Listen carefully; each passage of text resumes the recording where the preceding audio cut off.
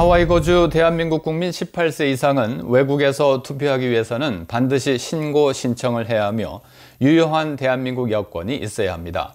한국에 주민등록이 있는 18세 이상 대한민국 국민으로 외국에서 투표를 하려는 사람은 국외 부재자로서 선거 때마다 신고를 해야 하며 한국에 주민등록이 돼 있지 않은 18세 이상 대한민국 국민으로서 외국에서 투표하려는 사람은 재외선거인으로서 등록 신청을 해야 합니다.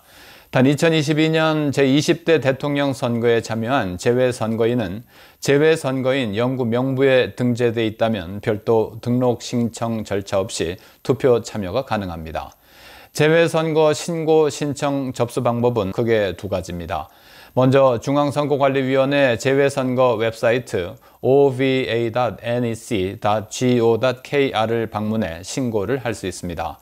다음으로 주 호노룰루 총영사관 홈페이지 공지사항에서 양식을 다운로드해 총영사관 전자우편 또는 우편으로 송부하거나 총영사관으로 직접 방문해서 신고 신청서를 작성해 제출할 수 있습니다.